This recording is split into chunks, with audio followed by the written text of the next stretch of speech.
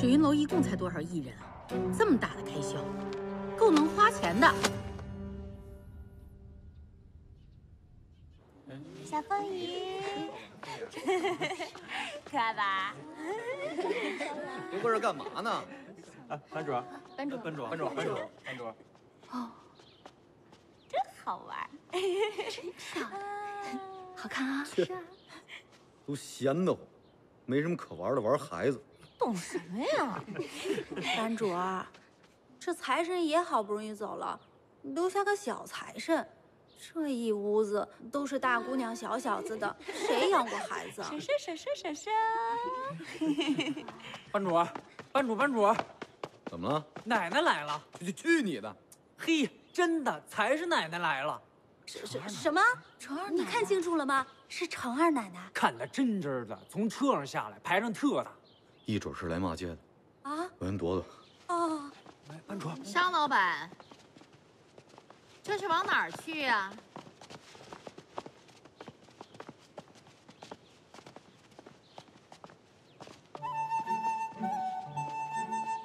程二奶奶好。这个你看看。啊？让我看账本啊？不认字儿？认识几个？真新鲜呢。大字不识几个，还敢做戏班子的班主？老韩，二奶奶，你来教他看账本。二奶奶，我直接念给他不就成了？对对对对对，你念就成了，我听得懂。给你念一次可以，往后呢？难道要我们程家的总管回回念给你听，伺候你水云楼啊？二奶您您有所不知啊，当时二爷入股水云楼的时候，我们就说好了，水云楼的账归他管，我只唱戏。我们程家的管家都没空回回念给你听，你还要程凤台来给你管账，你知不知道他有多忙啊？就好比这次吧，二爷说走就走，去了上海十天半个月都不回来，那你这本账就这么搁着了。可是我真学不会呀。没有什么是学不会的。只有不想学的。哦，唱戏也没那么简单，你怎么就会了呢？那不一样，二奶奶。还有啊，商老板，上次我去看你那个战宛城，戏怎么样？我不敢说，身段多苗条啊。今天见到你，你怎么发福了？我胖了吗？没吧。唱旦的胖的身子还能看吗？那是不太能看。那就是了，自己的嘴都管不住，怎么管戏班子？我让老妈子做张素菜单给你，让你清点清点吧。别愣着了，去吧。沈老板，请。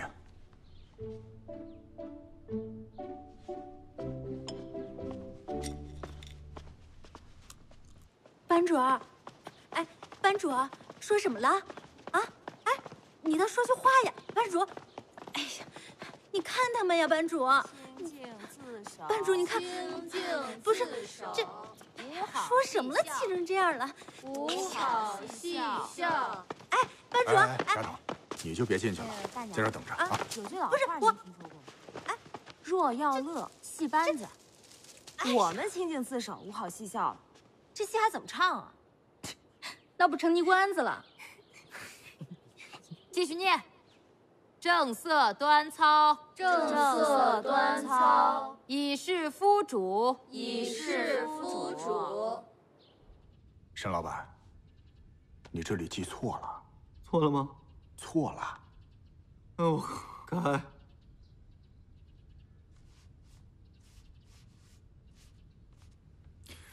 还是不对，来，笔给我，你得这么写。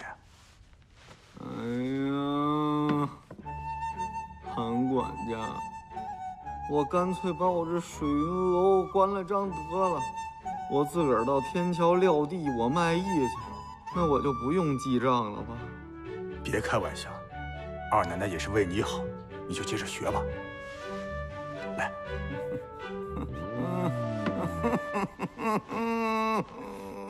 来吧，快点儿。二奶奶，都按您的吩咐安排好了。这条理不就理顺了？了？怎么啦？想出去管个戏班子有多难啊？二爷那么大的货运行都能管，来到这儿愣是没管明白。那不一样，水云楼都是一些唱戏的戏子，二爷哪能打得了这个交道？是他们，还得是二奶奶您。哼早该让他们懂懂规矩。嗯，哎，抱过来。好。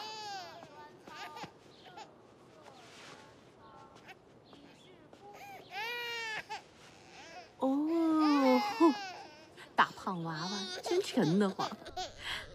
哎呦哎呦哎呦，别哭别哭。嗯。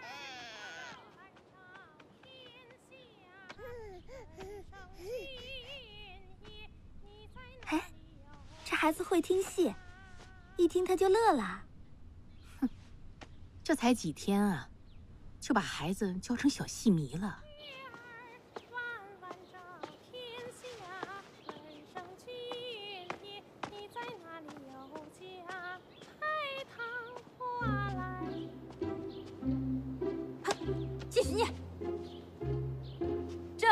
端操，正色端操，以示夫主，以示夫主。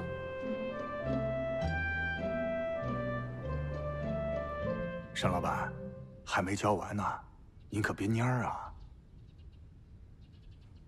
我的韩大爷，我又累又饿，您就放了我吧。不是我要为难您。您今儿要是学不会，我没法交差呀。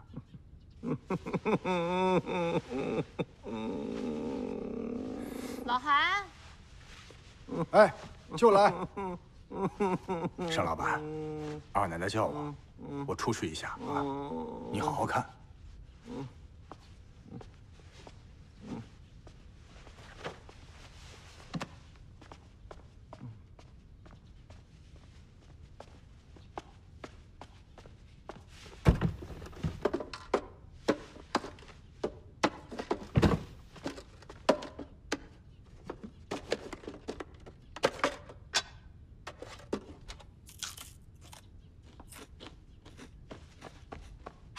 主，哎呦呦呦呦，慢点慢点，哎呦，可苦了你了。这程家老妈子做的菜，愣是一点油性都没有。除了咱平阳闹饥荒那会儿，你哪受过这苦啊？哦，对对对，给你带酱肉来了。慢点行。啊，我这一顿不吃肉，我就活不下去。我跟你说。这日子我再也过不下去了。那那怎么着啊？人家可是程凤台的老婆。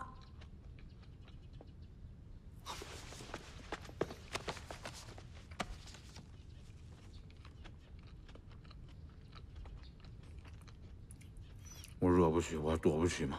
躲躲？你躲哪儿去啊？你现在连这门都出不去呢。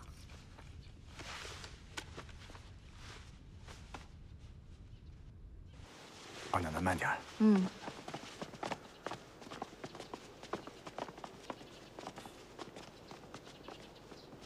这里的事儿就交给你了，水云楼早点整明白自己那一亩三分地儿，别芝麻绿豆大的事儿都找二爷来，贴了钱还要出力气，不够忙活的。二奶奶，您就放心吧，我一定把商老板给教好了。嗯，我走了。哎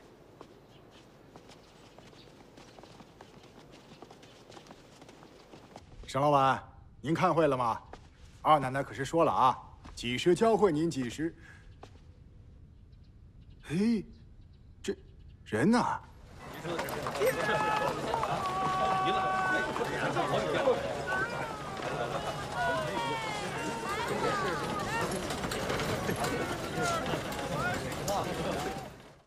谢谢谢谢谢谢。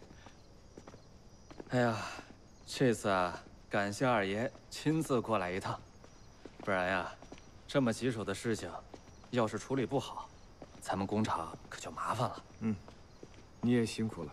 哎，幸亏二爷您是上海人，罩得住啊。二爷，商老板，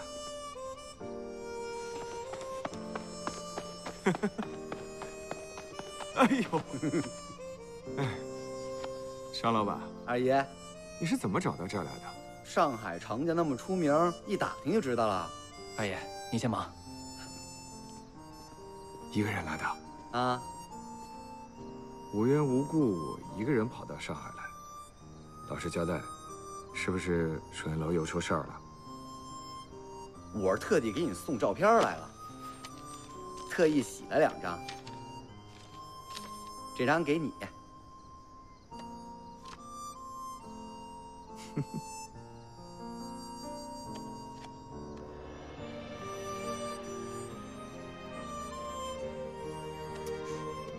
回去再给我不也一样吗？干嘛非得大老远跑到这儿来呀？哦，我正好答应了上海的同行，帮衬他们唱两出。嗯，借你屋子给我住一阵子呗。可以啊，我家里边干干净净的，也没有祖师爷大眼瞪小眼，你比我福气好。切，走，我帮你拿东西。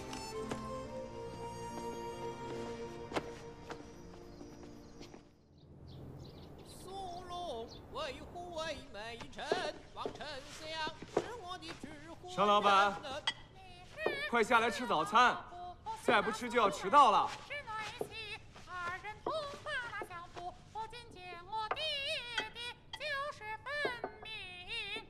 他三人与我有仇恨，咬定了牙关，他就不认臣。我的父在朝为官，他还了釜山金银对日晒，本里算来有多少名人送到？商老板西凉川。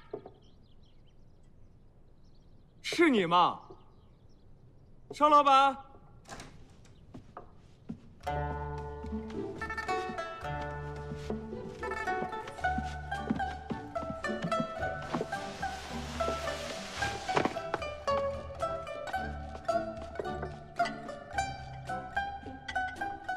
怎么了？你没长腿啊？一格一格走多麻烦，我这多方便，等于坐电梯了。你刚跟谁在唱戏呢？我自个儿啊，就你自己，一个人？就是我在安王府跟侯玉奎搭的那出啊。西凉川，四十单八战，为君的要人，我是不要钱。军爷是华丽不断，将你送到这当官的大板上加官，又难劳左监官叫你死，秦容易你就退后难。嗯，一脚高一脚低的，跟个神经病一样。哎，二爷，嗯，我刚才在你们家茅房唱戏，那声儿特别好，还带回音呢。因为贴了瓷砖吧？那王府戏楼为什么不贴瓷砖啊？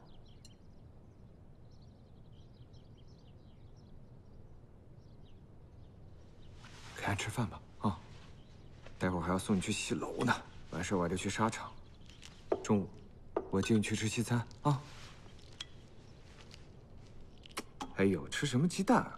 来吃这个小笼汤包，特色。先咬一小口，把汤吸出来，然后再吃进去。咬一小口，把汤吸走，吸汤。卖报卖报卖报卖报！梨园魁首拉户巡演了，一票难求。来来一份，来一份。谢谢。给你钱。来一份。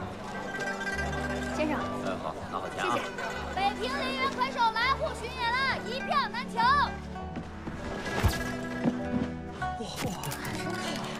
怎么样？这个啊，在空中得提着一口气儿，两条腿盘紧了，落地得轻，这就是窍门。听明白了吗？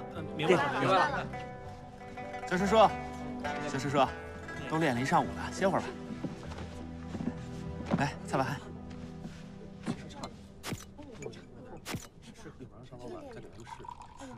哎，谁找来的记者？都跟了一上午了，胶卷跟不用钱似的，咔咔咔闪我眼睛，都快照瞎了都。是唐会长啊，找来专门写稿子的，《明日申报》头版头条。来，我再给你加点水。那也不用跟着一上午啊。您是梨园魁首，长得又好看，他们爱拍就拍去呗。哎，哎，我听说你寻着你亲妹子了，恭喜你啊！谢谢啊。不瞒您说，这是我长这么大最高兴的一件事儿。那你是真的就打算不唱了？不唱了。我这个妹子呀，不喜欢我在梨园行里打滚，她要把我带回老家，认祖归宗。虽然说吧，你身上那点功夫确实不怎么地，但是啊，你比台上那些人强太多。年纪轻轻的说不唱就不唱，这不造孽呢？小师叔，你是非得在夸我之前埋汰我一下，是不是？啊，我说的是大实话。哥，啊，小叔叔，我去一下啊。黑玉，你来了，饿了吧？快吃了吃了。看林老板这妹子，长得又漂亮又有钱，我要能认着这么个妹子，我早就不伤心了。林丹秋太幸福了，看着真好，想得美。走，咱们出去吃啊。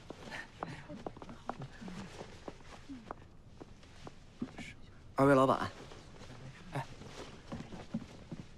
哎，跟您二位打听个事儿啊。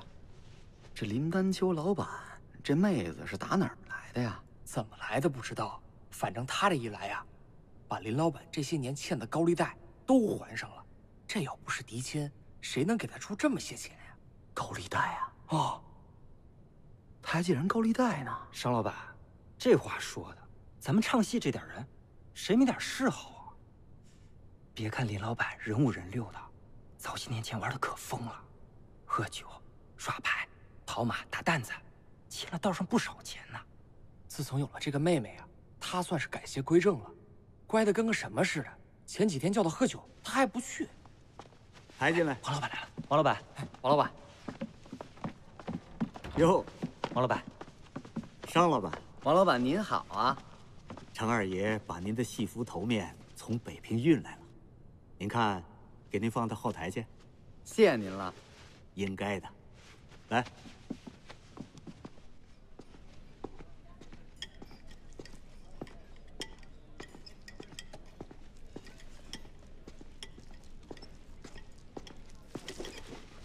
林丹秋这个妹妹，也实在是太霸道了。林丹秋想唱戏，他拼命拦着。嘟着个小脸儿，感情唱戏有多辱没他似的。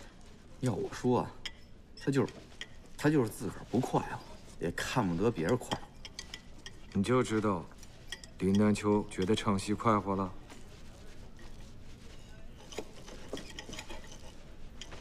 行了行了，你这切牛肉呢，还是切盘子呢？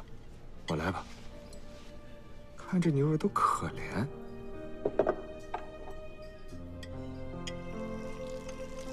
这林丹秋啊，也是够不着调的。小的时候，挨揍不比我少，苦了这么多年，好不容易熬出头了，就因为一个妹妹，三言两语就不唱了啊！哎，你说他是怎么想的？这不是很正常的吗？唱戏固然重要，妹妹更重要。当然了，你没有妹妹，体会不到这种感情。谁说没妹妹？我也有。幼稚不幼稚？这你也要争？哦好，你有啊，你有。我没蒙你，我真有一妹妹，亲的。真的？这么大的事儿，我怎么从来没听你提起过呀？这有什么好提的？小时候的事儿我都记不清楚，我就记得我是搁路边捡的，倒了好几手才被我爹买走。哎我爹说我小时候可能耐了，人啊还没这桌子高就会背唐诗。这么说，你也是读书人家的孩子呀？那你有没有想过要去找你的亲生父母呀？他们长什么样我都忘了，我上哪儿找去？再说了，说不定是他们对我不好呢，说不定我就被他们扔了。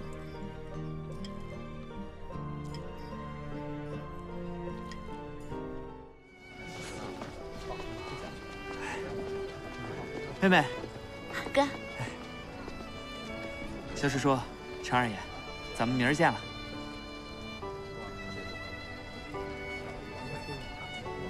走了。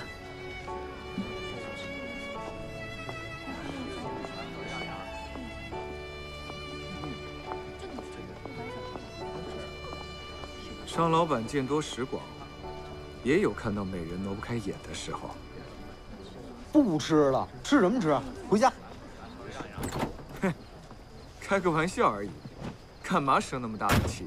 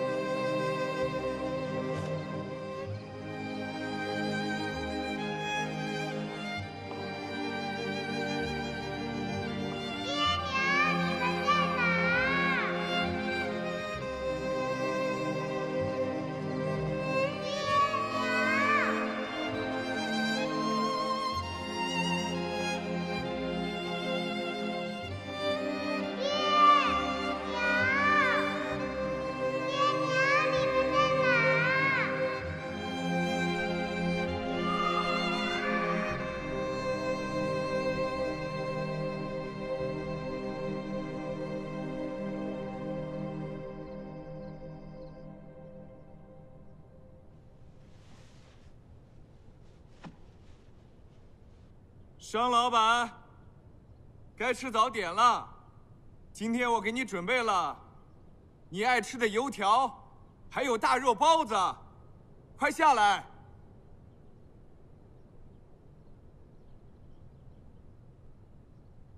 商老板。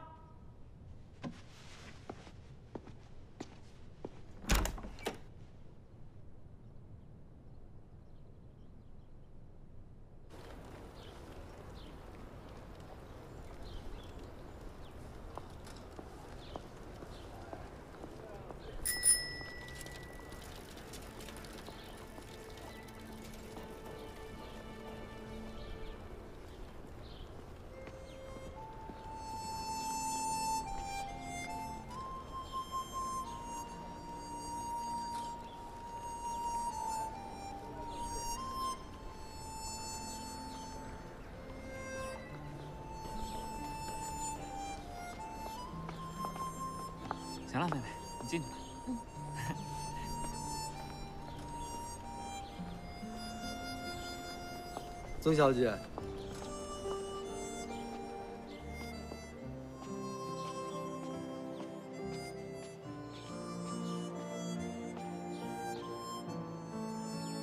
怎么是你啊？来找我哥的。他刚走去梨园会馆了。不。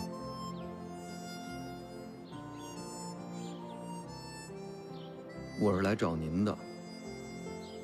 找我？是陈二爷叫您来找我的吧？麻烦您转告他，我曾爱玉说一是一，说二是二。既然收了钱，我就不会要回孩子，叫他放心好了。明天我就跟我哥去云南了，从此山高水长，一辈子都不会再见到了。啊，我我不是，不是他让我来的，我也没听程二爷说过，您有亲哥啊。他也不是什么事儿都知道呀，我们各取所需，我也没有必要，样样事情都跟他说明白呀。嗯，嗯，我也不是为了孩子来的。那您是为了什么呀？啊，我我我来其实是，嗯，想让您帮我劝一下林丹秋老板。现在上海啊，又年轻，唱的又好的角儿，没几个了。这十几年的功夫，说撂下就撂下了，怪可惜的，不是？哼。我早就听范莲说过，您是个戏痴子，可这都吃到别人家里来了。我告诉你，我们曾家现在虽然门庭败露，可祖训上写的清清楚楚，曾家子弟绝对不允许入梨园。而且，我从小到大最讨厌唱戏。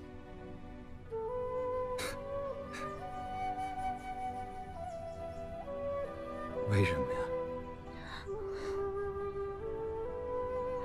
小时候，我跟我哥哥随爹妈外出走亲戚，就是因为看戏。哥哥跟我们走丢了，这一散就是十几年。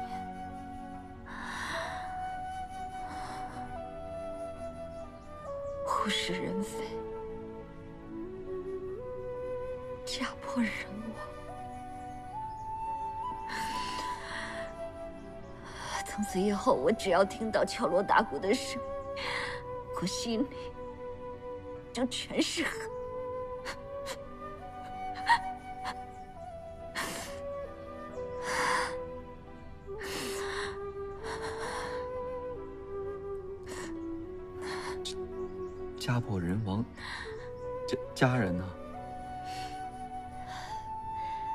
就剩下我跟我哥两个人了。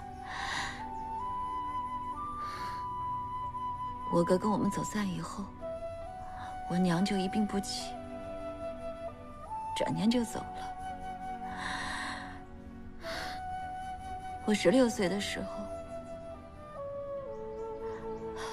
我爸也没了。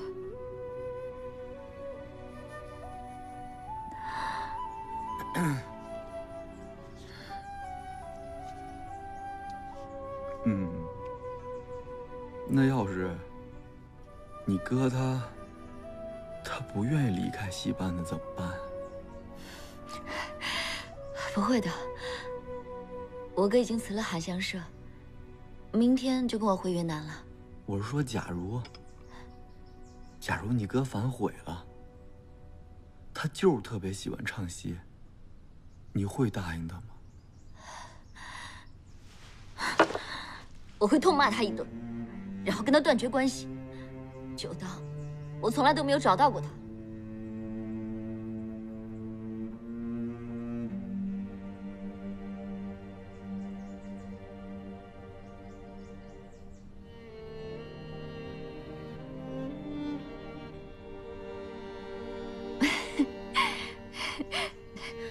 看把你吓的，我逗你玩呢。其实，与其说是我不让我哥唱戏了，倒不如说是我哥自己不想唱。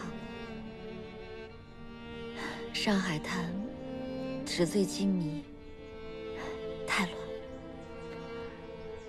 我哥那么年轻，从小就在名利场上讨生活，这一不小心就能走了歪路。回老家就好多了，我们兄妹两个可以做点小买卖，踏踏实实的过日子。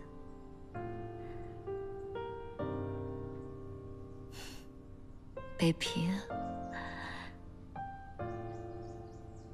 上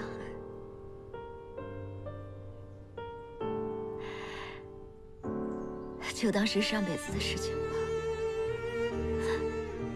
全都忘了。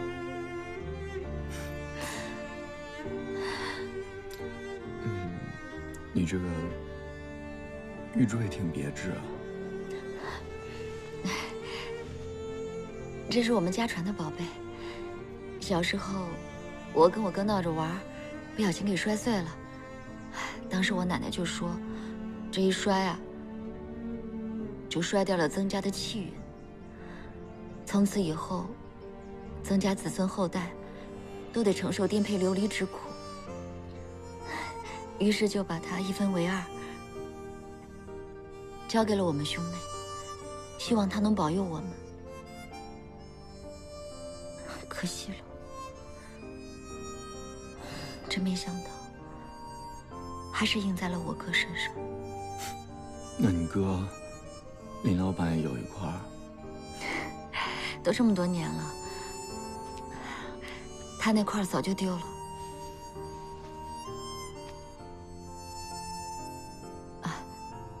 商老板怎么对我们家的事情这么感兴趣啊？没有，我就是，就是有点好奇。程二程二爷跟我说了，说凤仪丫头的名字就是从这个玉佩上来的。哦，对了，嗯，凤姨改名了，呃，原来叫凤尾，现在叫凤乙。北平啊，管尾叫乙。甲乙丙丁的乙，我改的，说出来好听。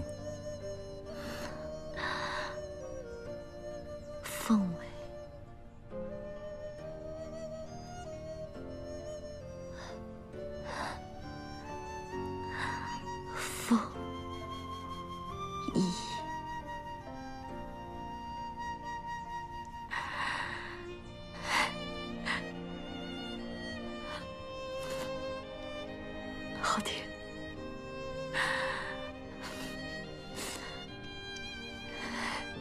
啊，对了，还是要谢谢二爷，愿意照顾我的骨肉。凤，凤仪她，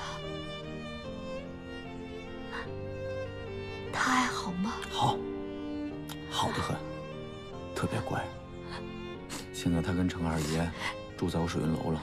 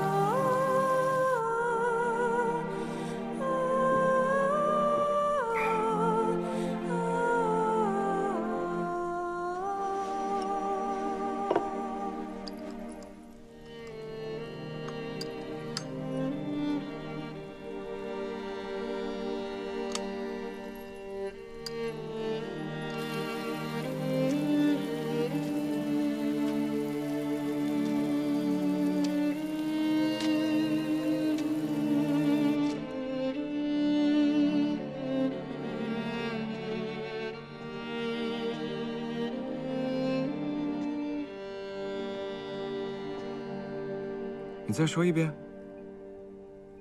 曾爱玉是你亲妹妹。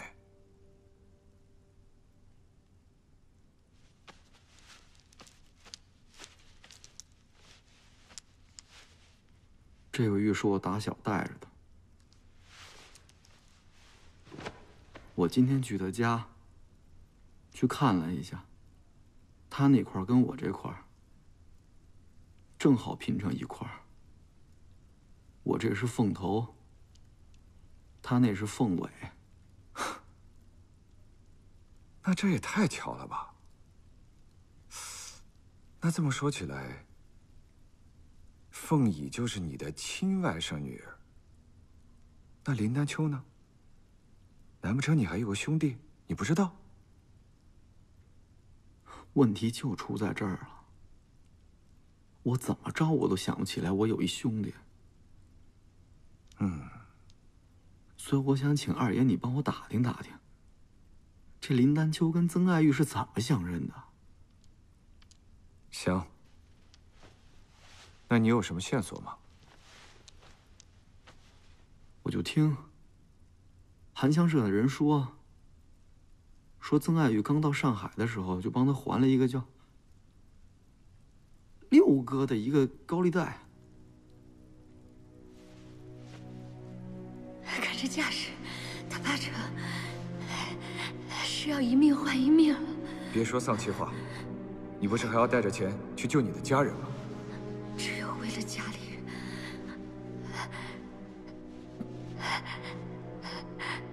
才敢赌上自己的性命，赴汤蹈火。曾爱玉拿孩子做筹码要钱，是为了救家人。难不成他是要帮林丹秋还债去？我去问问那六哥去。你知道人家住哪吗？你叫我去。我这鼻子下长了嘴呢。你知道人家叫什么名字吗？你上哪去找啊？啊！全上海有多少个叫六哥的？等你找到了，人家早回云南去了。那怎么办呢？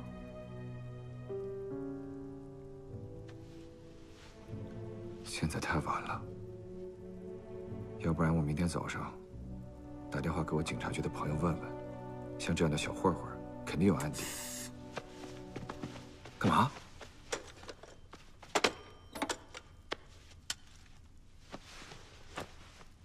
你打，你现在就打，我看着你打。是谁说亲爹亲妈来了都不相认的？现在有个妹妹，你就这么上心？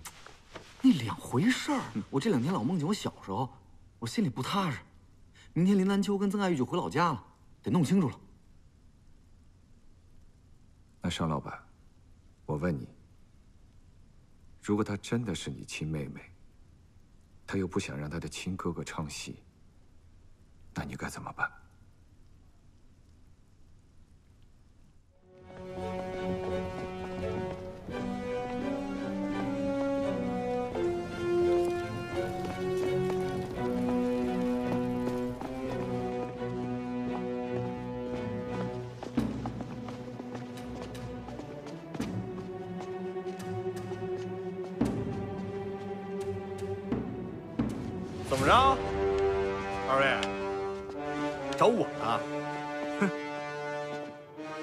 找六哥打听点事儿啊。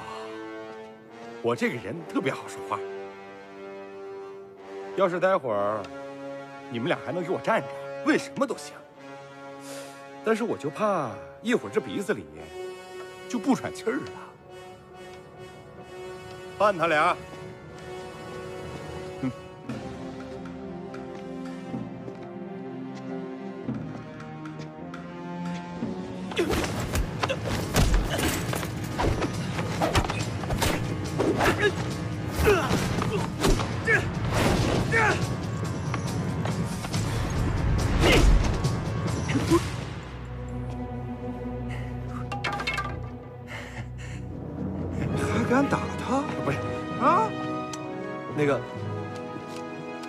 我刚才赌坊赢了点钱，哥。你看，医药费是吧？哎，谢谢啊。医药费应不应该？应该，应应应该。问你个问题行不行？行。林丹秋认不认识啊？林丹秋？哎，认识，认识，林丹秋认识。他就好耍个牌。那个，但是运气不好，欠了我一屁股赌债。是运气不好，还是你们设的套啊？这个，哎，林丹秋跟曾阿月怎么回事？你打听这个干嘛？哎，别别别别别别别！我说，我身体不行，我挨不了你几棒子。这个两年前啊，我发现一只肥羊，就是那女的，一看就是大户人家小姐，漂亮有气质。我就上前跟她套话，她说她是来找她失散多年的哥哥，还给了很高的报酬。哎，所以你就设了个局，对不对？不是，不是哥，你不能这么说呀。这都是天意成全。他说他失散多年的哥哥是被戏班子拐跑的，林南秋正好是一戏子，相貌、神情，样样都能对得上。两个人见面说了一晚上的话，就认了这个亲。后来呢，他说他能帮林南秋还债，哎，但是呢，要回老家筹钱。这个临走之前还嘱咐我说：“你不要为难他哥哥。”这不最近吗？最近他才回来。他给了你多少钱？利滚利的，这些年十万吧。哎，不是不是不是，我什么都没做，他是自愿的。不是哥，你想想，他俩能认下这兄妹，我这不也是做了件好事吗？对不对？滚！啥？滚！哎哎，滚！哎，快快快快，走走走走，滚了！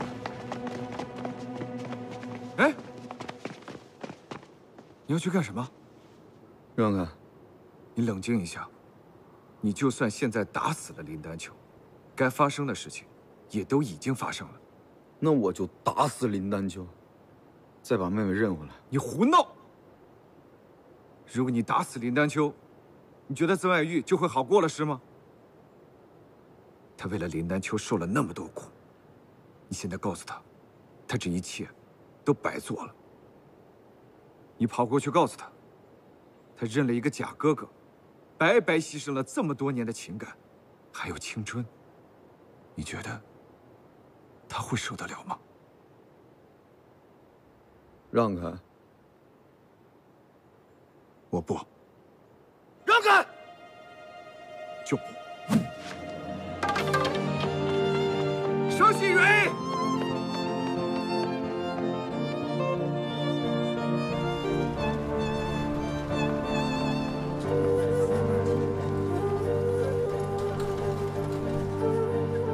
哎月，路上时间长，先吃点水果。嗯。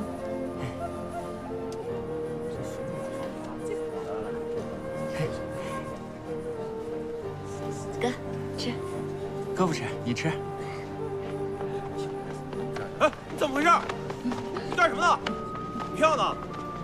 啊，没事没事没事，这是我小师叔，没事啊，没事没事。下次注意啊。哎，知道了知道了，谢谢啊。小师叔，你这是和谁打架了？我有话跟你说。哦，哎玉，你等我会儿啊。哦。看好行李啊。嗯。小师叔，什么事儿啊？小师叔，什么事儿啊？这么神神秘秘的，你可快点说啊！火车啊，马上就要开了。哎，不是，小师叔，你干嘛打我呀？哎，别打了！救命啊！大人啊！哎，小师叔别打了！小师叔，小师叔，你是不是疯了？你你为什么要打我？为什么？你自己干什么缺德事你不知道吗？我干什么了我？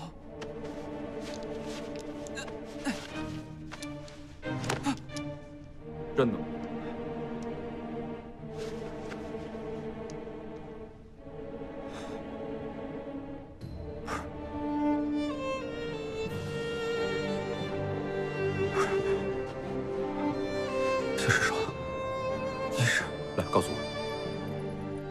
活该被揍？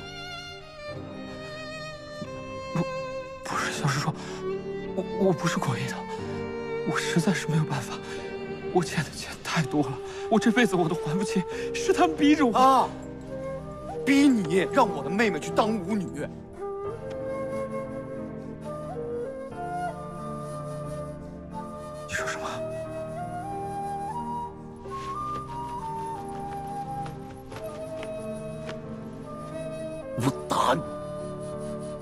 仅仅是因为你骗了妹妹，还因为你让她受的那些苦。为了帮你还债，你知道她这两年是怎么过的吗？那么年轻一个女人，她哪来那么多钱？你不想一想？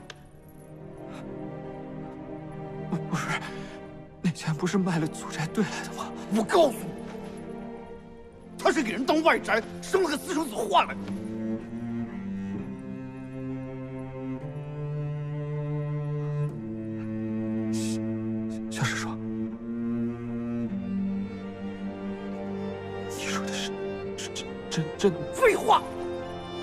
那孩子现在在我水楼待着呢，程凤台花了十万大洋给他买回来。不可能！你为什么要骗他？你的良心呢？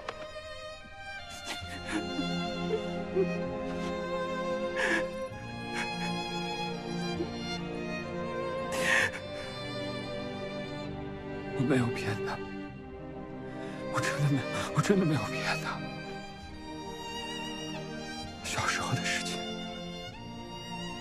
我真的都不记得了。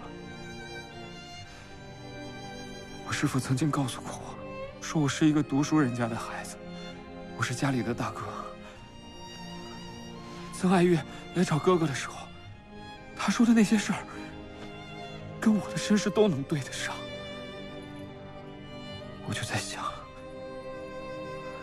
这是老天爷对我的一种恩赐，他让我有了个妹妹。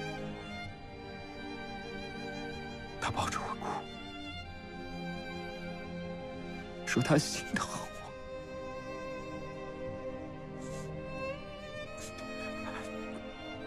我心里一下子就有了着落。我林丹秋，我林丹秋有亲人了。我有个亲妹妹，她还记得我，她翻山越岭、千辛万苦的，就是为了找到我这个哥哥。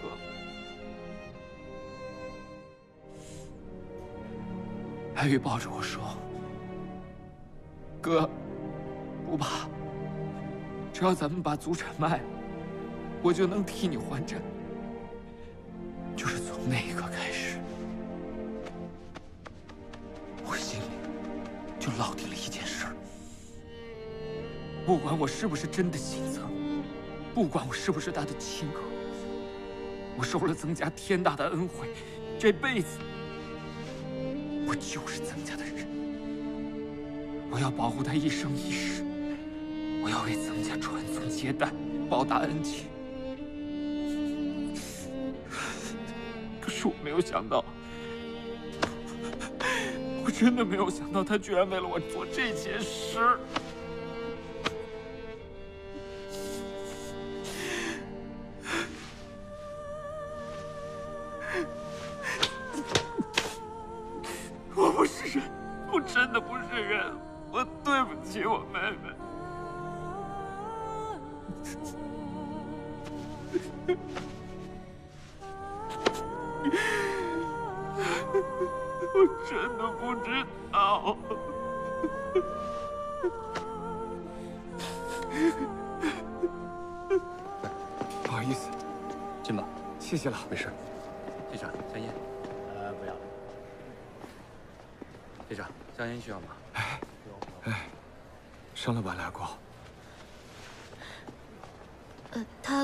走了。哎，陈二爷。嗯、我听商老板说，凤仪住在水云楼了，他还改了名字。他有我照顾他，你就放心吧。啊没，我没不放心，我就是瞎问问。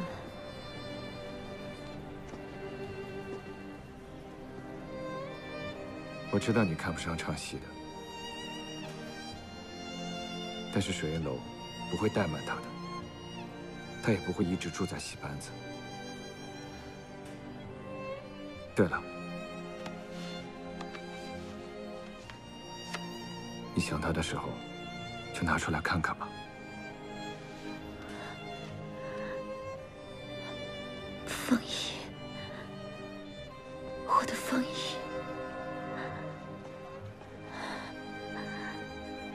有没有照片？给我一张。等将来孩子长大了，我会告诉他，这是他最美丽的妈妈。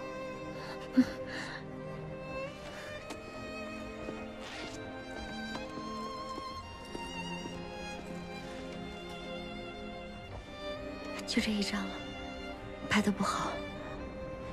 很好了，已经。放心吧。哥，哎，你脸怎么了？啊，没事儿。是他打你了吗？啊怎么可能呢？刚才我和小叔叔聊天的时候啊，脚底下没留神，从楼梯上摔了下去。得亏小师叔把我给拽住了。疼不疼啊？不疼。一会儿上了火车，我给你擦点药酒。行，一会儿的。常二爷，小师叔，那我们就走了。一路平安。嗯。海月，我们走。嗯。我来。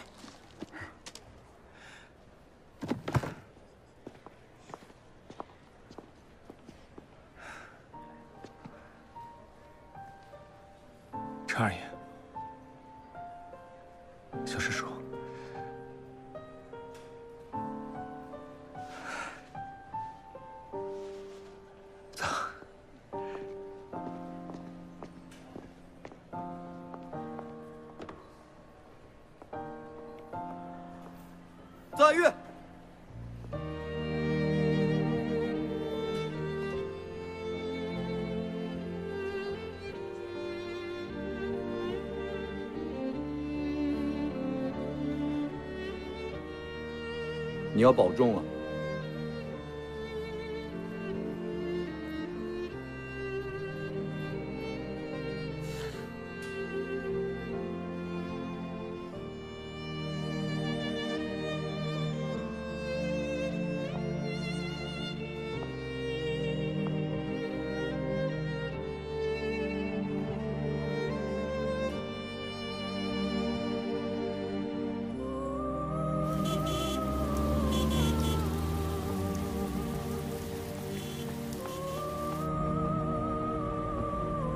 真的会打死他。打死他犯法，不划算。再说，打死他那便宜呢。那你后来是怎么惩罚他的？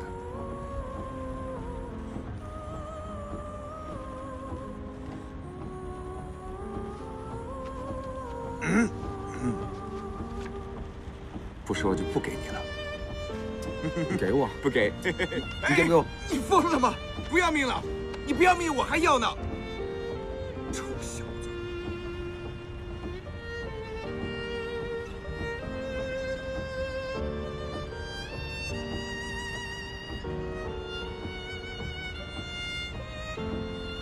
二爷，我饿了。行，带你去吃好吃的。你想吃什么？我想吃生煎包。吃完了再带你去看电影。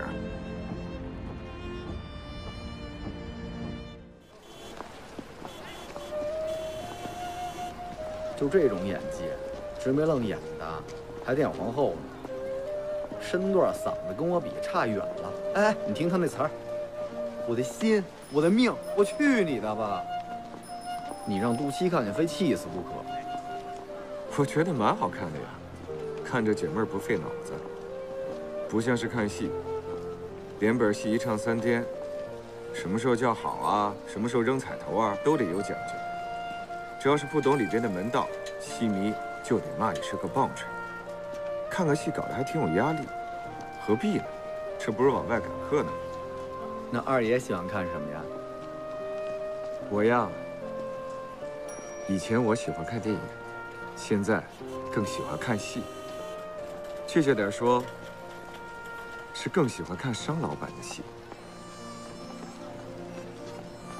我觉得商老板不管演什么角色，都演得真，就好像心里边住着好些个魂儿。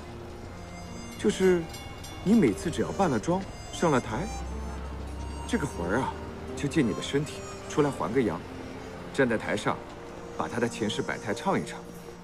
等到下了台，魂儿散了，他们的故事还活在你的身上。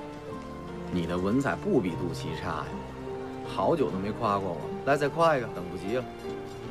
有这么上感人求夸的吗？再说了，夸你的人多了去了，还差我一个。二爷说出来的话分量跟别人不一样。行，那我就好好的夸一下商老板。商老板就像是一朵花，一团火，只管自己开着，燃着。喜欢看你的，你就使劲给他们个好看的；不喜欢看你的，你也不会为了讨他们的欢喜而改变自己，违背自己的心意。都这么大个角了，还能够活得这么自在，那就是真的非常难得，非常稀罕，那是实打实的天真。所有人都说呀，像商老板这种钟灵毓秀的人物，只能远远的看着，不敢与他并肩而行。只有我程凤台，甘愿赴汤蹈火，伴随左右。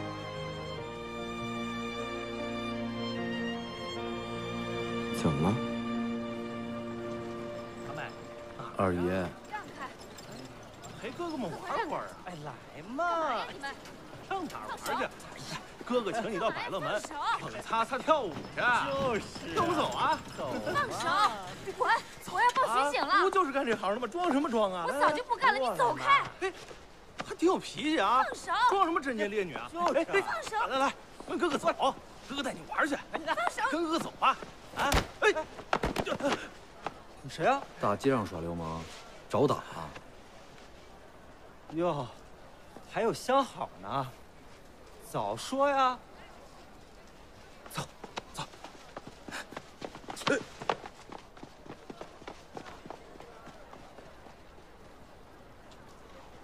姑娘，你没事吧？商老板。糟了，是你的戏迷。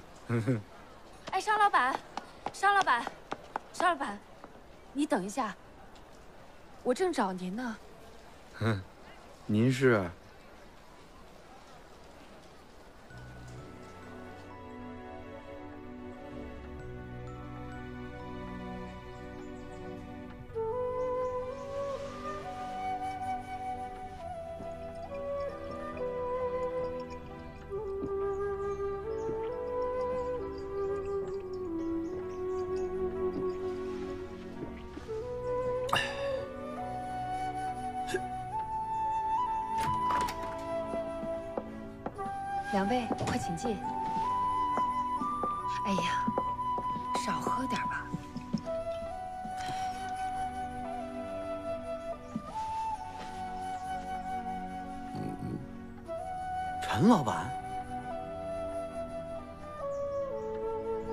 陈香怎么变成这样了？为了他，我自赎自身，从南京来到上海，见到他他就变成这个样了。问他发生什么事儿，他也不说，就知道把自己关在屋子里喝闷酒。你看这腿，腿伤了也不治。商老板，我知道你们是好朋友，你一定要帮我好好劝劝他。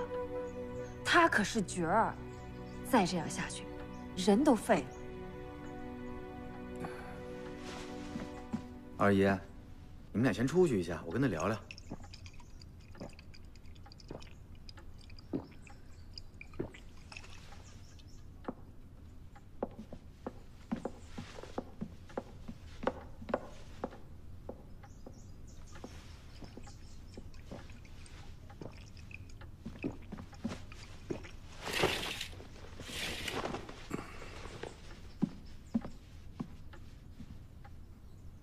老板，怎么着啊？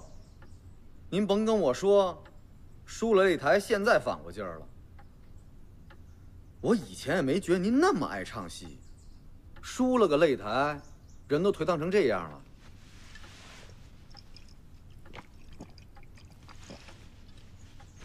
我要输了，我就不这样。您猜我怎么着？我就卯足了劲儿跟你陈瑞香干上，埋头苦练一年，腊月初九我再跟打擂台。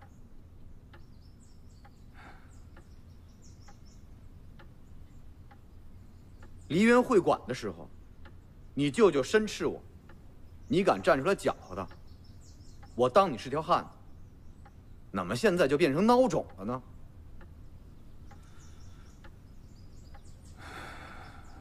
您就搁这等死吧，啊！我也真是想不明白外边那姑娘喜欢你些什么。我要是她，我肯定不管你死活。我确实是个孬种，她也确实不管我死活了。你狼心狗肺呀你！人姑娘看着我就跟我哭，说让我来劝劝你。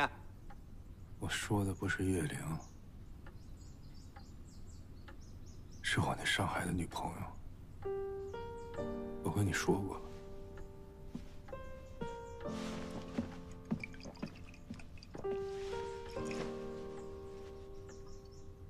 怎么回事啊？他家里不同意我俩在一块儿，我就带着他私奔，结果被抓住了，打断了腿，扔到了荒郊野岭。等我醒来的时候，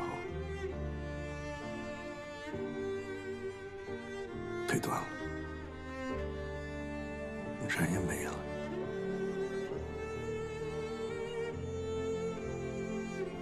你说不是孬种是什么？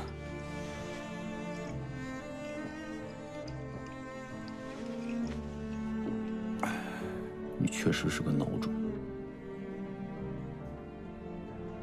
可不是吗？我要是你女朋友，我光知道咱俩失散了。我又不知道你躲在这儿，双方音讯全无，我上哪儿找你去啊？然后你还不问缘由，就说人家不顾你的生死，你是不是狼心狗肺？不是，不是什么呀？我帮你想好了，这么着，你赶紧把腿治好了，咱俩唱出戏。这比什么广告都好使啊！到时候半个中国都嚷嚷开了，他肯定能看见。他自要是能看见，他就会来找你，比你在这儿醉生梦死强吧？你说的对，可是可是什么呀？多好一办法！别怂啊，陈仁香！不是，我不是跟你打赌了吗？我一年。不能登台唱戏，我跟你闹着玩呢，我都没当真，你就当真了？怎么着吧？啊，晚上我找一大夫过来给你瞧瞧腿，你呀，甭喝酒了，踏踏实实养着啊。邵老板，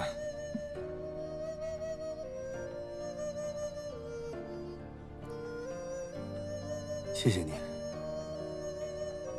谢谢你肯帮我，你是我恩人。甭跟我说这个，我不爱听。戏台上把戏搭好了就成，当报的。走了啊。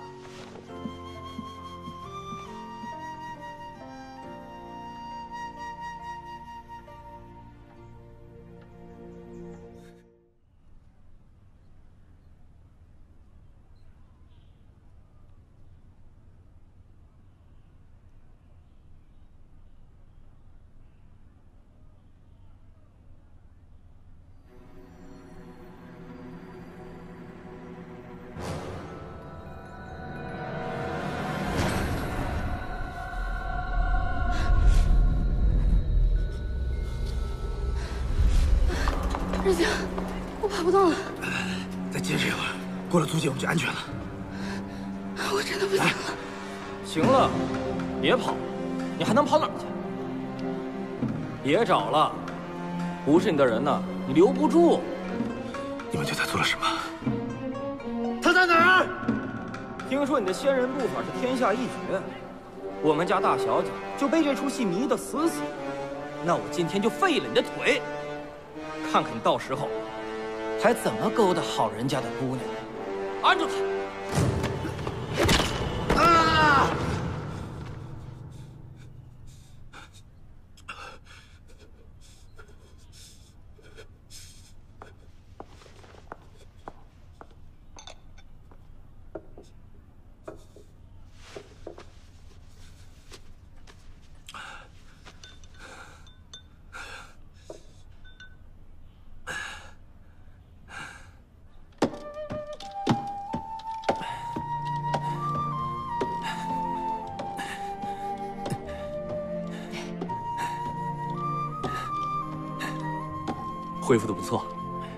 快就能走路了。那我是不是能登台唱戏了？这，我得尽快登台唱戏，这样他就能早些知道我的消息了。不行啊，腿还没好呢，是不是医生？是，没事儿，腿坏了嗓子又没坏，咱来说文的，还让我兜你点。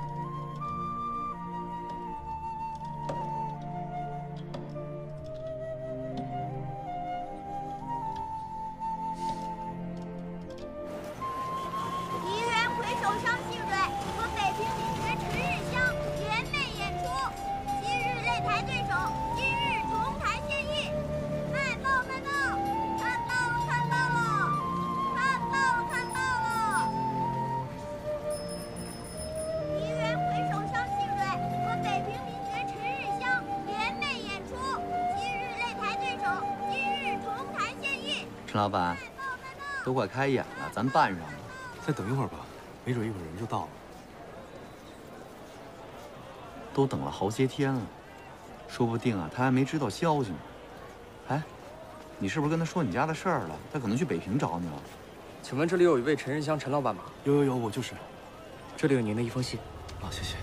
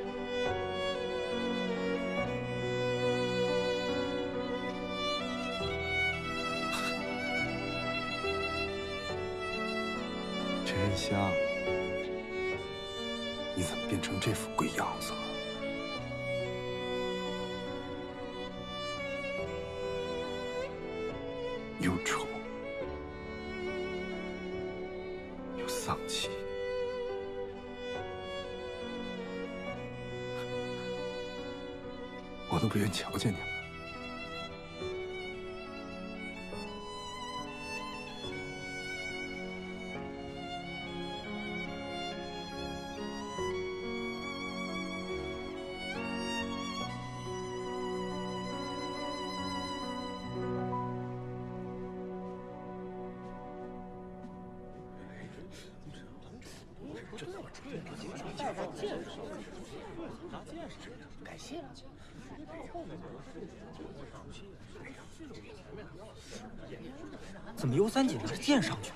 唱的不是这出，事儿啊，管事儿了呢。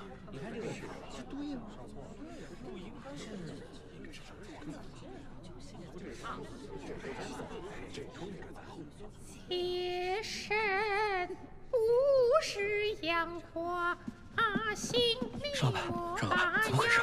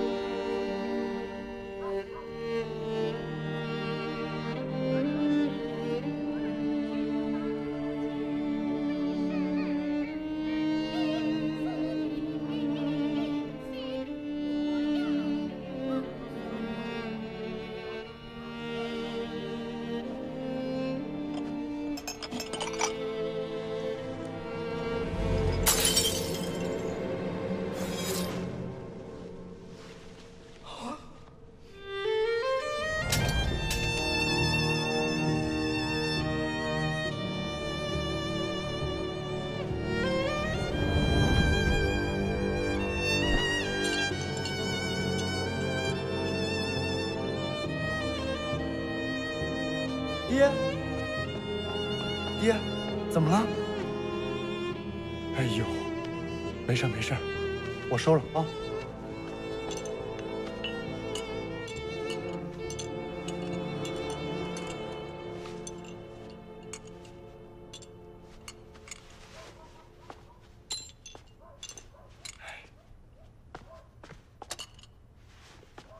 爹，怎么了？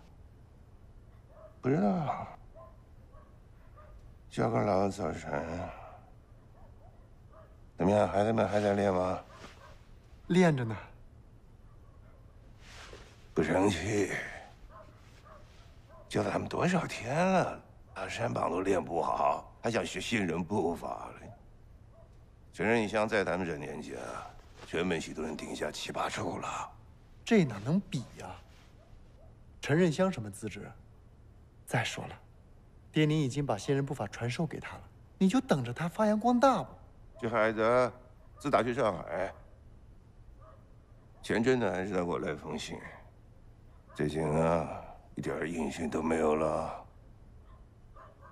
这上海什么地界儿啊？他指定是玩疯喽，我还不了解他吗？在我跟前装孝顺，一出门就把我老头子搁在脑后了。我看他停息一年再登台，能有多少长进？我喜欢。哎呀，哎，爹，有事叫我。咱们下次去练，不许停。哎，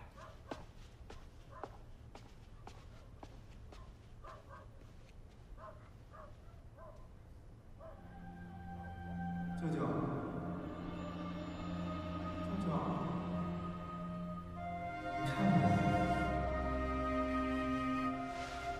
江儿，是你吗？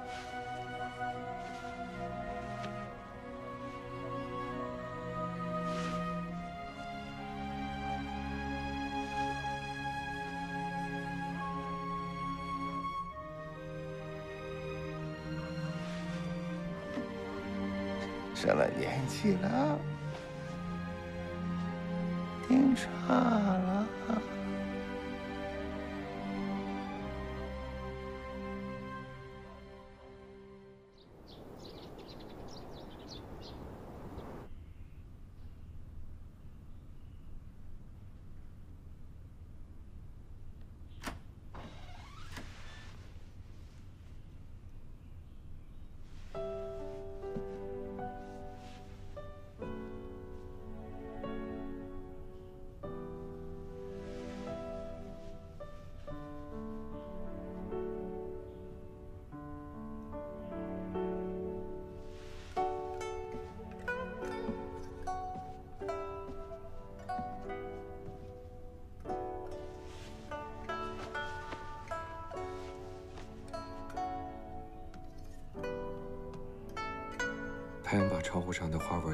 身上，就跟你穿了一件黄金袍一样。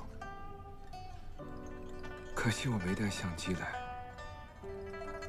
可我现在要是回去拿的话，太阳落山了，这景象就又没了。是啊，没了，留不住。世间好物不坚牢。尚老板，你要放宽心。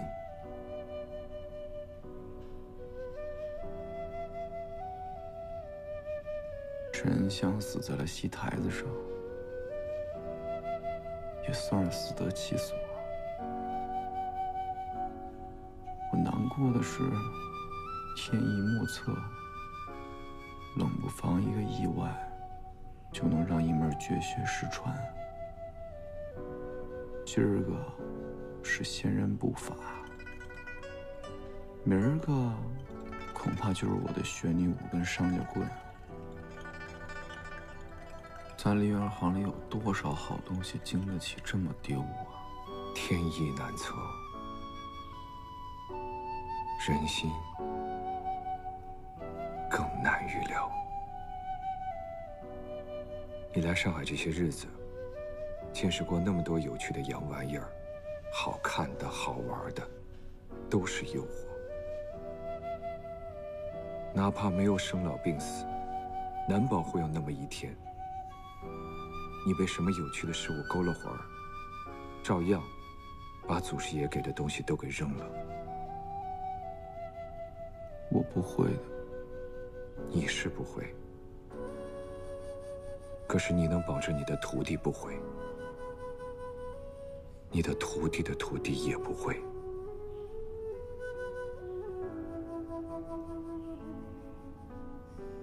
天意和人心靠不住，不如把它拍成电影，印在胶片上，长长久久的往后传。电影只能拍出个人形，没细节，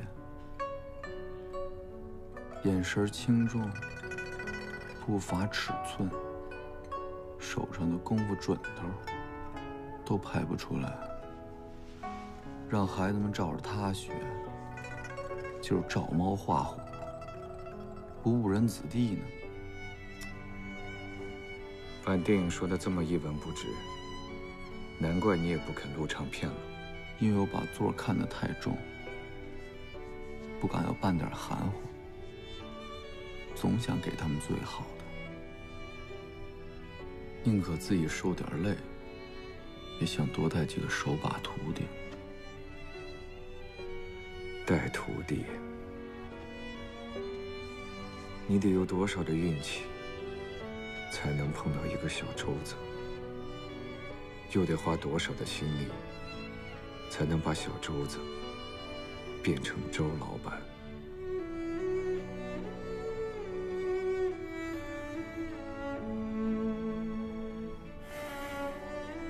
慢慢来吧，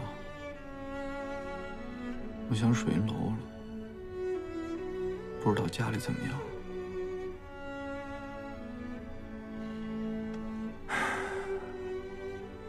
是啊，不知道家里怎么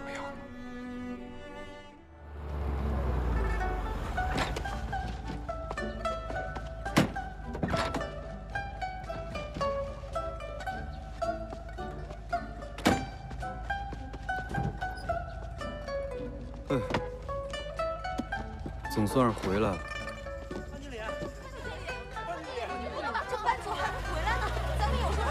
我的孩子我带走怎么了？哎，你干什么呀你们？带走！班主，班主，班主，班主！班主，你可回来了！范金玲要带凤仪走。是啊。啊，起开！干嘛呀这是？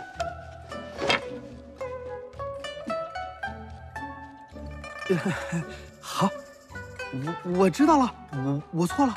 这孩子留在这儿哈，哎，来来来，嗯，不哭了不哭了，哦，爸爸明天就来看你好不好？哎，明天就来看你哦。看什么看啊？哎，明天再来哈。你看你个人渣！哎哎，干什么你？哎，别跑！不是上来你干嘛呀你？别跑！哎哎别别别别别！哎，有话说话。刚才那下你曾爱玉打了啊？玉？哎，不是，你怎么认识曾爱玉的？啊，我知道你老了我。别跑！班主，哎，这什么情况啊？啊！班班主，以后但凡我不在家，范莲敢来要孩子，就把他给我打出去，打死了我重重有赏。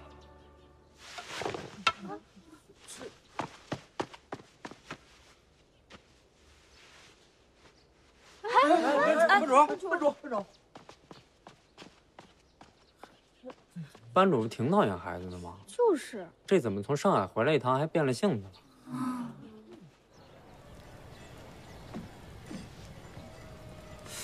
哎呀，呵。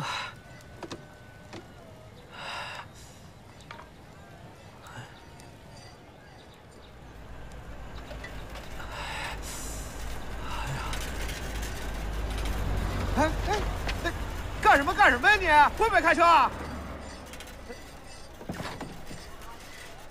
姐夫，唱戏的打人了！哎，唱戏的打人了！你得管他，你得替我做主啊，姐夫。他打人一点都不稀奇，但他为什么要打你啊？我不知道啊，他不是一直不在吗？我就过来带凤仪玩两天，啊，不是养两天。谁知道他拿那么粗的棍子追着我打，说是替曾爱玉打的。他认识曾爱玉吗？替得着吗他？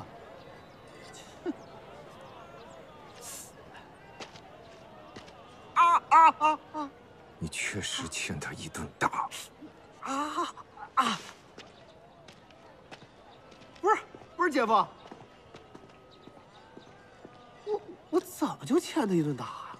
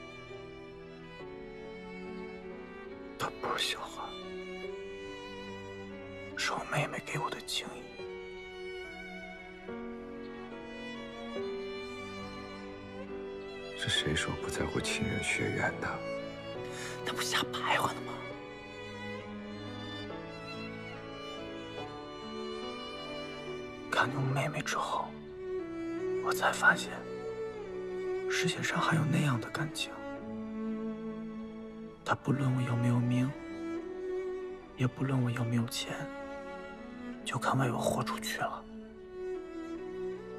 他那是为你吗？那是为了林丹秋。他那是为了他哥哥。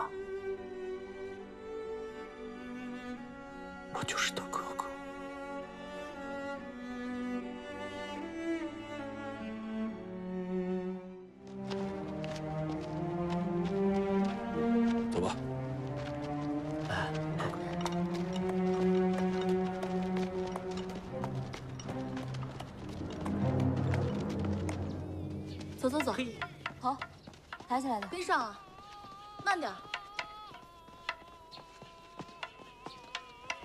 站直了。慢点。嘿，谁呀这么烦？看看去，看看看看，走走走。练你们的。二爷，二爷，你来了。二爷来了。哎，你们愣着干嘛？赶紧搬东西啊！搬什么东西啊？什么东西啊？这都是给水牛的。啊，不要是吧？老葛，盖上，我拿去赈济灾民了。嘿，别呀，二爷，快快搬里边去。哎呦，走，慢点，慢点，慢点，慢点，慢点。哎呦，你慢点儿，没事，没人抢你的，都是你们的。别急别急啊！现在时局这么乱，北平这物价都飞起来了，吃口大白面多难啊！得亏有二爷照应着。慢点，慢点。饿着谁也不能饿着商老板呀，他能上大街找人吃去，对不对？对对对，您说什么都对。包子。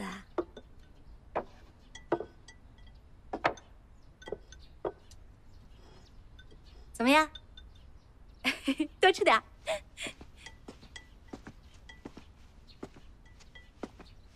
呀，二爷来了！嘿嘿，来来来，来给我，二爷您先坐，我给您盛一碗热豆浆去啊。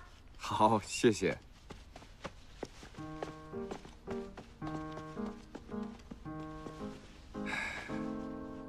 这小来最近对我挺客气。也是，我这又送米又送面的，他见了我就等于见了粮仓，能不客气吗？哎呦，你这一大清早起来就吃红烧肉啊，你不嫌腻得慌？你是五行缺肉吧？你自己吃吧。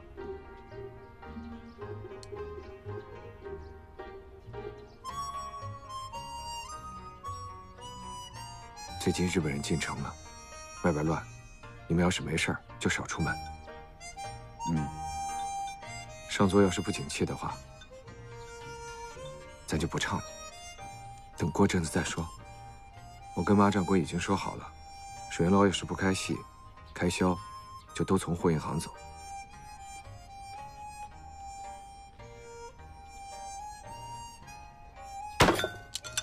我好不容易劝住二奶奶，好几个月不问你要孩子，你怎么对我还是爱答不理的呀？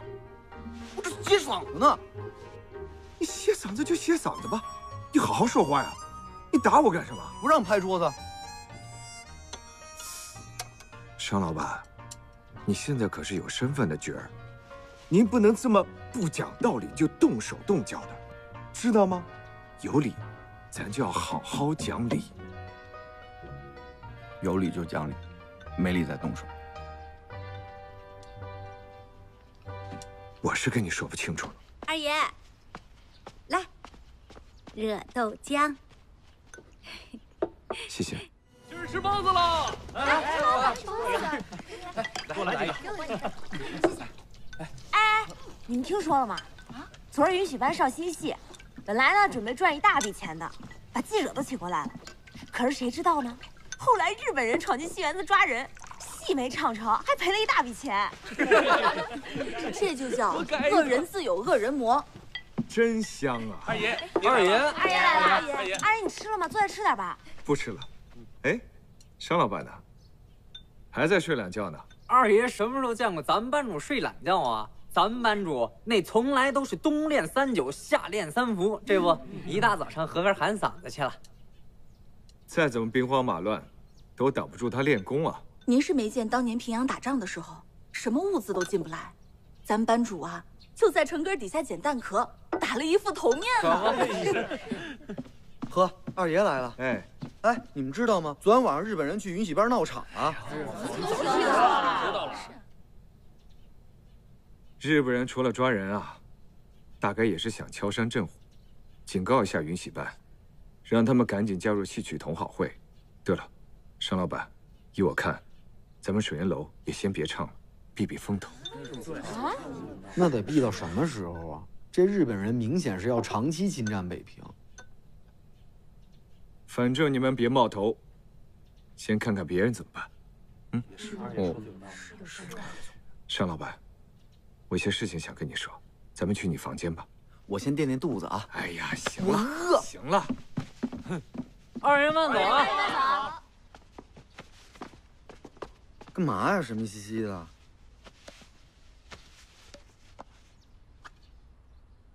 认得这个吗？哼。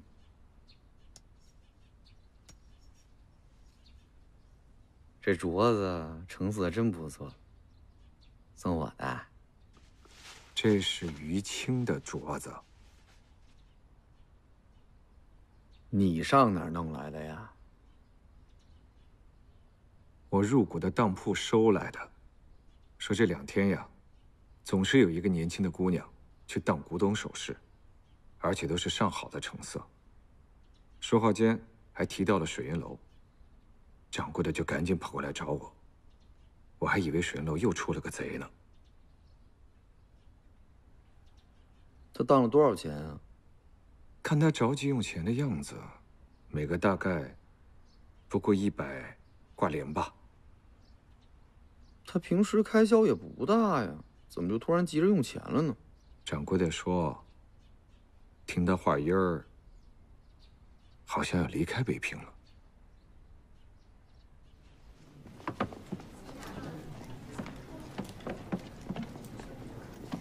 哎，那是于青收藏的唱片，借给我听过。哎哎哎，谁让你拿走的？哎，怎么能说是拿呢？这东西我们老板自己花钱买的，你们也是来收旧货的吧？你赶紧的吧，再晚货都被抢光了。您就不能再加点吗？这些都是我来北平的时候刚置办的，不说做工了，就这木料都不止您开的这个价了。哎你这也是没有赶上好时候，这要是搁在七月以前呢，倒是值这么多。只是现在啊，正在打仗，这兵荒马乱的，只有真金白银才吃得开。哼，现在谁还有心思玩这些雕花的家具呀？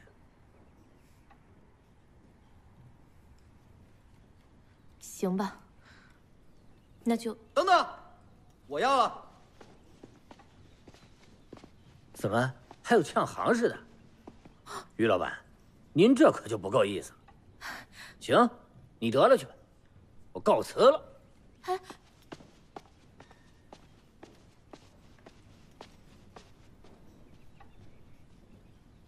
商老板，程二爷，于老板，您这是干嘛呀？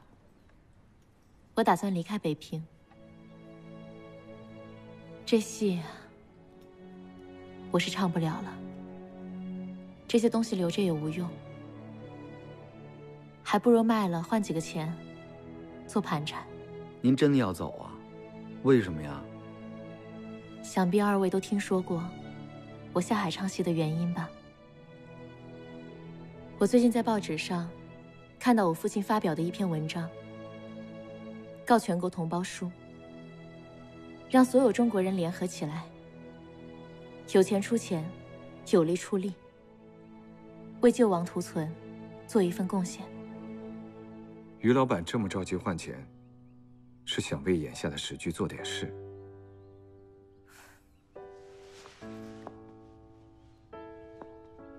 我知道我的力量很薄弱，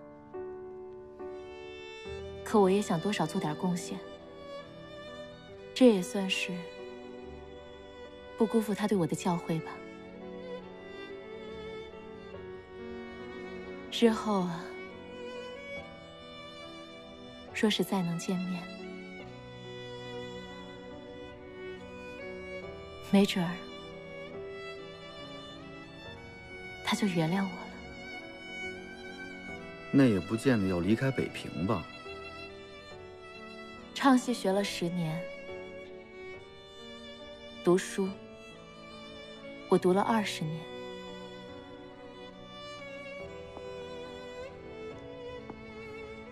商老板，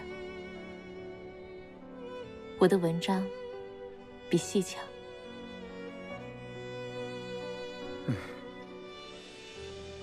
我原来还盼着，日子久了，您兴许就想通了，就又回来唱戏了。今天把话说到这一步，我也没法开口劝你了。人们常说戏子无义，可在我看来，这梨园里啊，多的是有情有义的好儿女。于唱戏，我是再难有寸进了。若是我于青的所作所为能扭转人们对艺人的看法，这也算我为梨园做了一点贡献吧。于老板打算去哪里？去澳门，跟文化界的几个朋友开办一家报社。于老板有这份心，在下很是佩服。不知道您这里的东西还剩下多少？除了些首饰，就剩些戏服了。可戏服这东西啊，最难卖了。识货的人用不上，这用得上的又嫌贵。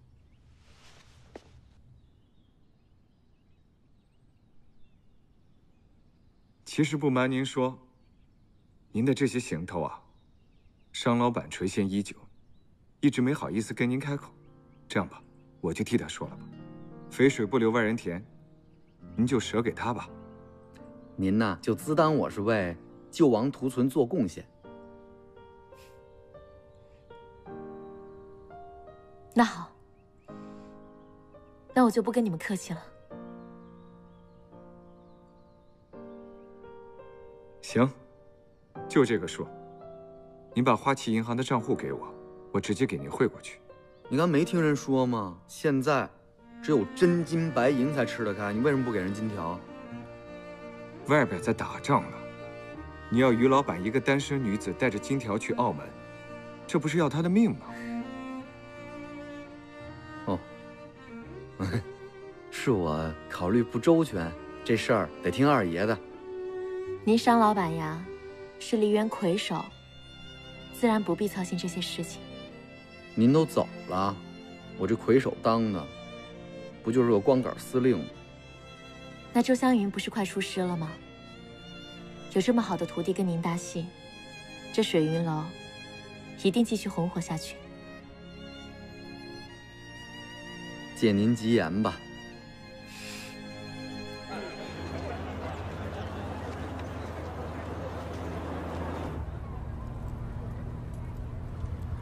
这于青真要走，怪舍不得。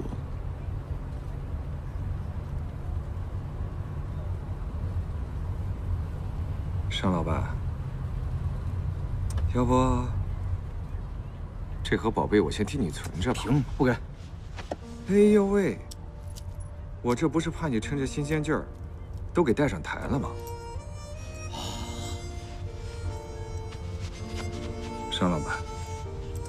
其实我早就想跟你说，有时候吧，您的这个品味还真的是，真的是不敢恭维。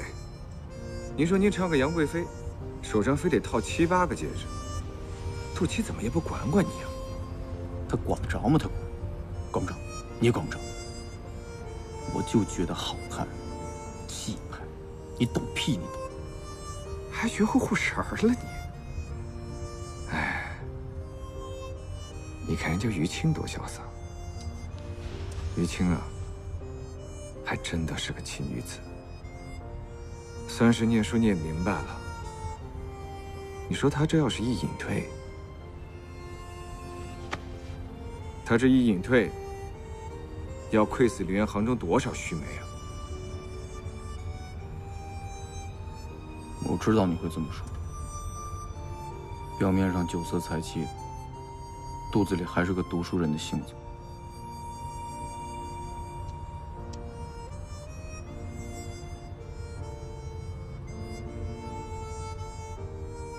沙老板，要不咱也学学于青的榜样，啊？我唱不唱戏跟国家打不打仗有关系吗？要真有关系的话，不唱倒也值了。我们这都要亡国了，你还在这唱戏取乐，欢声笑语，取什么乐？谁取乐了？乐什么了？我那叫黄连树下弹琵琶。我赶明我就天天唱那个什么《荒山泪》，呃，二堂舍子，我往那一个个的坐唱的嗷嗷的哭。我看你还有什么话说？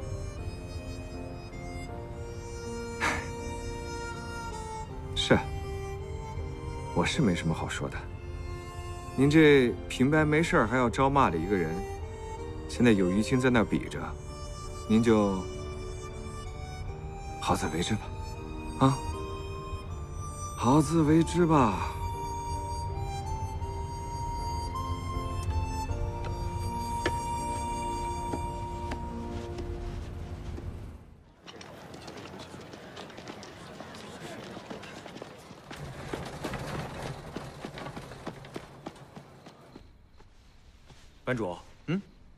这戏服怎么勾了线了？甭提了，大圣那孙子给我勾的。行了，师傅您歇着吧，啊，一会儿小来来收拾。好嘞。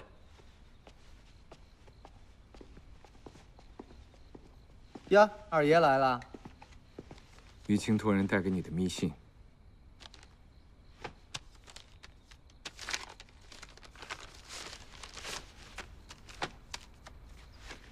嘿，他还是这扮相顺眼。二爷您看，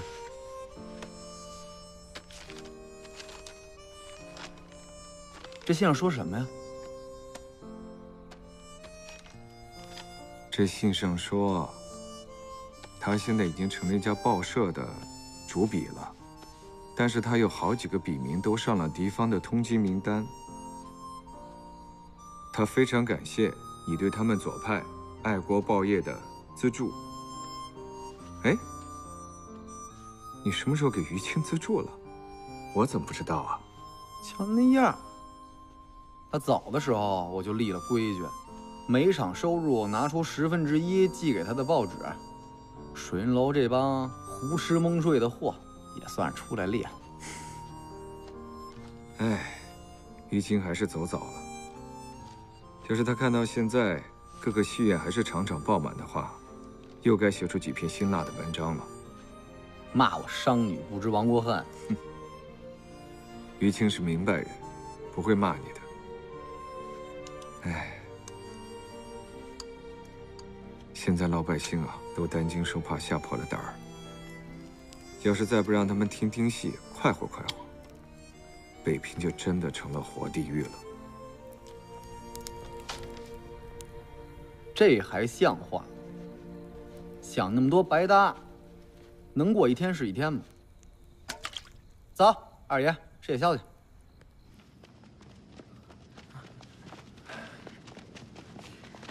现在这时局这么乱，满大街的日本人，咱赶紧回去。坏了！啊？怎么了？班主那个勾了线的戏服我给忘拿了。嗨，交给风母师傅得了。你还打算自己通宵做针线啊？不行，那不行，明儿个班主上台还得穿呢。行行行，我陪你去吧，走。哎，算了算了，就这两布袋，你给我拿着。你们先回，我自己去吧。那你慢点啊！慢点。哎，走吧走吧。走吧，走吧。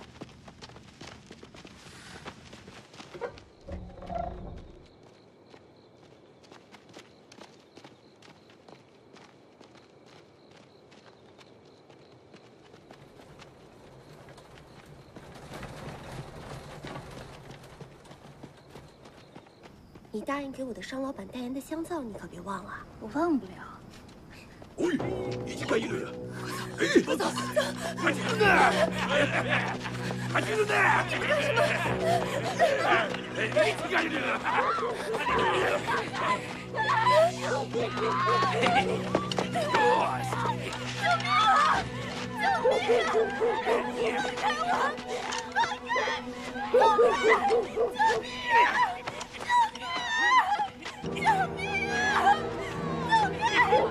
救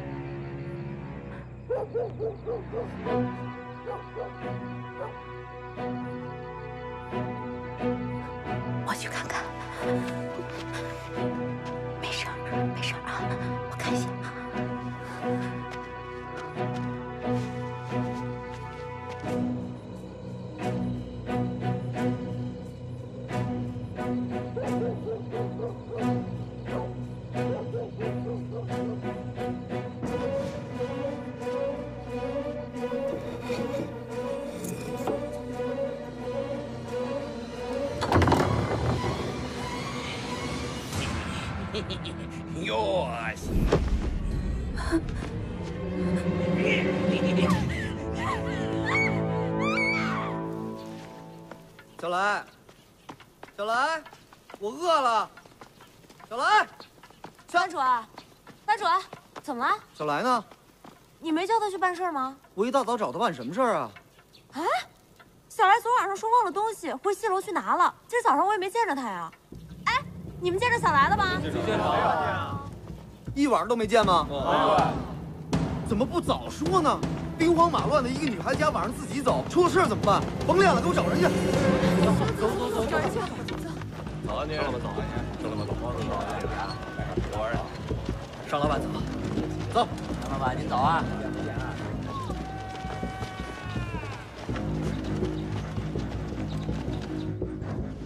小兰姐，小兰，小兰，小兰，小兰姑娘，小兰，小兰，小兰，小兰姐，小兰，小兰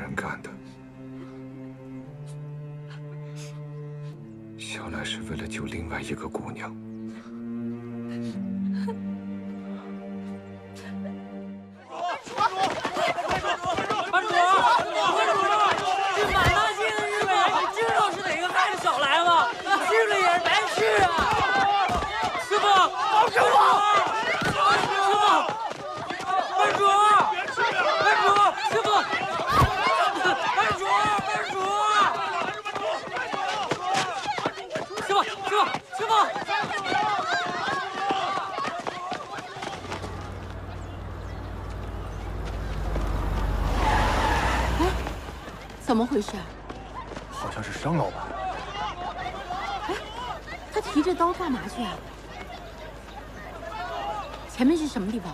前面，前面好像是日军司令部。唱戏的去那儿干嘛？师傅，班主，师傅，师傅，班主，你说赶紧回去，班主。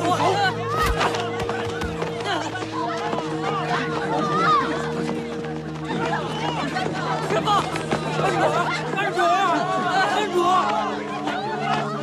你们水云楼发这样！二奶奶，二奶奶，你快劝劝班主！昨天晚上小兰姑娘被日本人给害死了，她要报仇了。二奶奶，让开，让开，让开，让开！商细蕊，你这一刀下去是什么后果？你想过吗？你是承蒙才的女人，我过去忍着你，让着你，今天别当道。现在整个北平都被日本占了，谁不认识你商老板啊？你今天杀他一个，整个水云楼一个都活不了。不光是水云楼，还有承凤台，甚至整个程家都会受到牵连。你自个儿找死就算了，为什么要连累我们所有人给你陪葬啊？你觉得小来姑娘会死得瞑目吗？你良心会过得去吗？乱来，顶多是浪费他们一颗子弹，伤不到他半根毫毛。不如回去想一想，怎么把力气、心血用在刀刃上。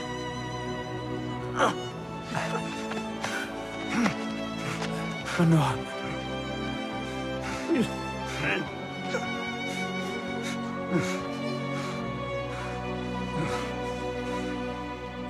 班主，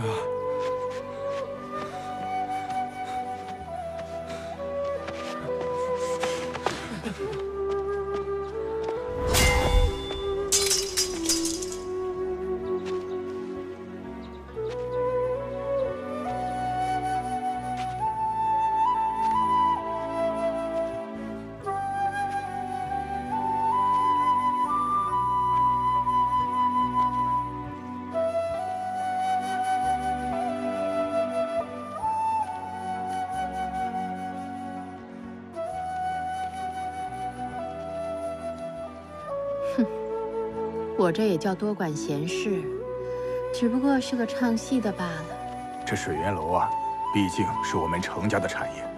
这商老板要是真出了事儿，那二爷花出去的钱就更收不回来了。二奶奶这是在帮二爷守江山呐。不过我还真没见过这么刚烈的戏子，提着刀上街杀人，死了个丫头，他连命都不要了，也算是个仁义的。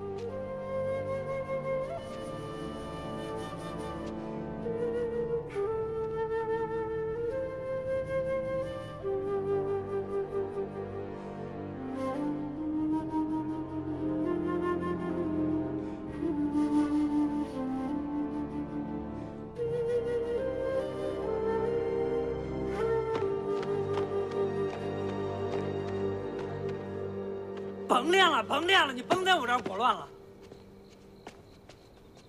哎，二爷，二爷，二爷，二爷，二爷，怎么样了？二爷，记者那边已经打点好了，闹事的也都回去了。辛苦您了。商老板呢？小来房间呢，回来之后就没出来过。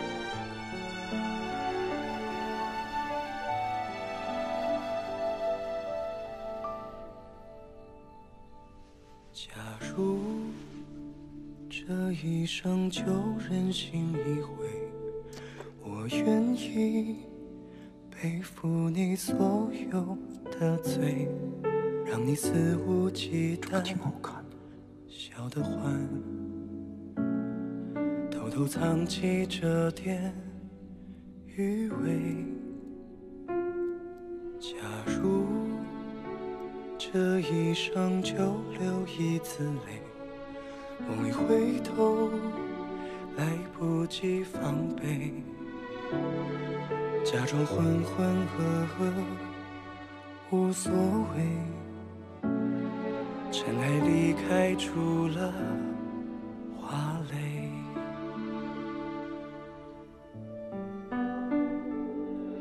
我不后悔风雪中和你走一回，干了这杯，洗礼灵魂相对。有些惭愧，我不说，但你心领神会。就此一醉，梦里你说人间好美。弥足珍贵，此生一段，只能一回。无需安慰，懂得遗忘心碎。和你依偎，分分秒秒都不够体会。青山妩媚，回望西台，锦绣